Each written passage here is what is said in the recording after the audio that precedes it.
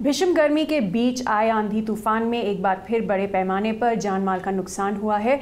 इस बार यूपी, बिहार और झारखंड में कम से कम उनतालीस लोग मारे गए हैं।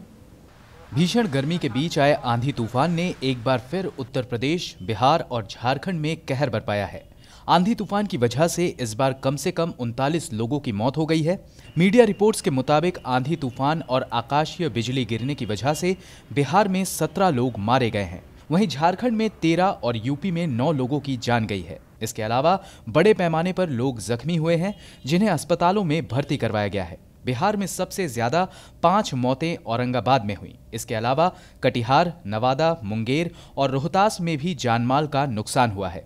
झारखंड में तेरह मौतों के अलावा 25 से ज़्यादा लोग घायल हुए हैं।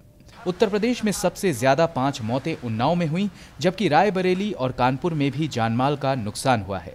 सोमवार की शाम आए तूफ़ान से बड़ी संख्या में पेड़ भी गिरे हैं और बिजली की आपूर्ति ठप है। मौसम वैज्ञानिकों ने इसे प्री मानसून बारिश बताया है और आंधी तूफ़ान का अलर्ट जारी किया गया है। मई के पहले हफ़्ते में भी आंधी तूफ़ान की वजह से कम से कम 200 लोग मारे गए थे।